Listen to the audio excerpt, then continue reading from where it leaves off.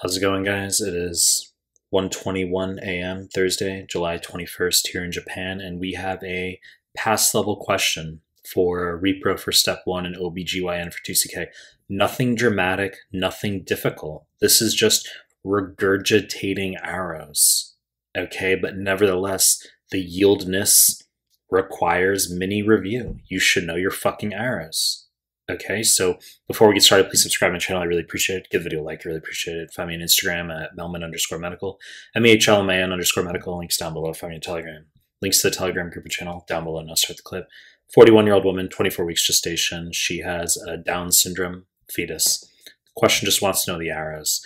And as I just fucking said, this is just regurgitation.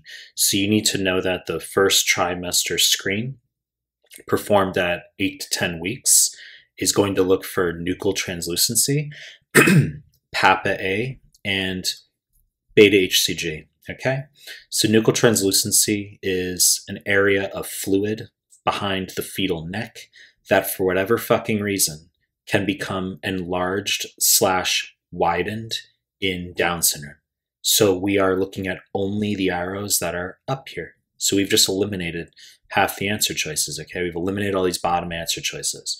So you also need to know that PAPP-A, pregnancy associated plasma protein A, is decreased, not increased in pregnancy uh, where it's Down syndrome.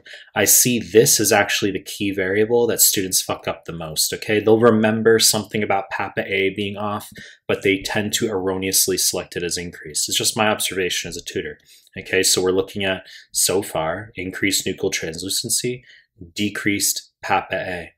And then I'll just continue sequentially. Okay, so even though we've got uh, HCG in the third, uh, fuck am I saying right now, as part of the tri screen, it is increased. Okay, but I'm to continue sequentially here. So you need to know that as part of the quad screen at 16 to 20 weeks uh, in pregnancy. So this is second trimester screen. We're looking at AFP, estriol, HCG, and inhibin A. Okay, I'm going to tell you a very easy way to remember the arrows for these. So for these latter four, the ones that have H's, HCG, inhibin A, they're the ones that have H's. Okay, estriol, AFP don't. So the ones that have H's are the ones that are increased. Okay, so AFP is decreased, estriol is decreased.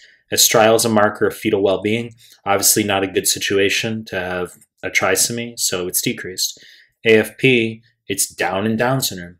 AFP obviously increased if we have a neural tube defect, okay, anencephaly, omphalocele multiple gestation pregnancy, uh, but it's down in Down syndrome. So our answer choice is going to be, our correct answer is going to be increased nuchal translucency, decreased PAPP-A, uh, decreased AFP, decreased estriol, increased HCG, increased inhibin A, okay? As I prefaced with, just regurgitation. We're just regurgitating arrows. But this is about inculcating high yield points that are past level. Okay, I can make clips on obscure shit, and I will do that uh, at various points, but you need to know these arrows, and I will link the high yield arrows PDF down below. You know the deal, I'm going to make more content. If you like my stuff, subscribe my channel. I appreciate your time. That's it.